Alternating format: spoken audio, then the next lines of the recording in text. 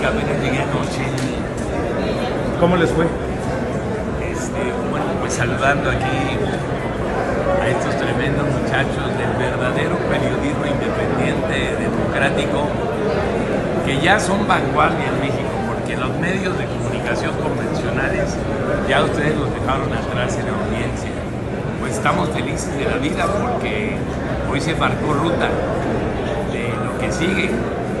Eh, la novedad, diría yo, es que aparte de ir a un parlamento abierto para el gran debate nacional, sobre todo del proyecto a la reforma del Poder Judicial, es ir a un parlamento popular, es decir, ir a acudir a las bases de nuestro pueblo, a las comunidades, a informar de la naturaleza del proyecto de reforma, porque según la encuesta que se realizó, solo el 50% de las y los mexicanos conoce, conoce a detalle cuál es la- el contenido del proyecto de reforma al Poder Judicial.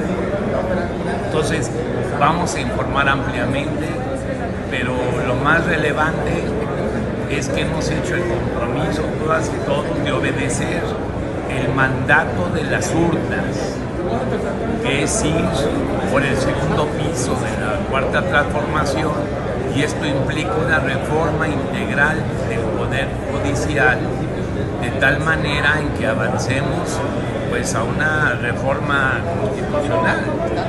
Este, somos los constituyentes, el piso de la 4T, pero también los constituyentes de una nueva constitución que se está construyendo paso a paso, pero que es la transformación integral de la norma nacional, que es nuestra constitución, nuestra Carta Magna.